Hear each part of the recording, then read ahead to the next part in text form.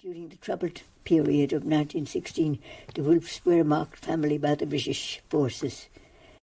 He was during the Black and Tan time. He was on the run. Mm-hmm. They came. Somebody gave false information about him, and uh, he was on the run all during the Black and Tan time. And our house was wrecked. Uh, my sister and myself were on holiday in County Clare with my grandaunt.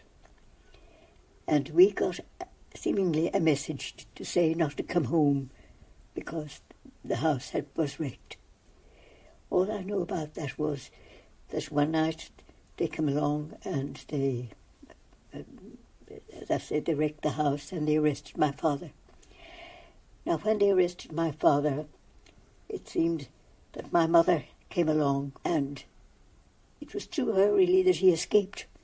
Now, at the back of our the house, it was the old house which we had rented at the time, the river, Feale, ran, and our garden opened into the wind river, and seems he got onto the river and walked the river that night. And he walked, the story is told that he walked uh, in such a way that he got to the convent, and the nuns took him in and hid him behind the altar. And the soldiers came to the convent, and the Reverend Mother met them.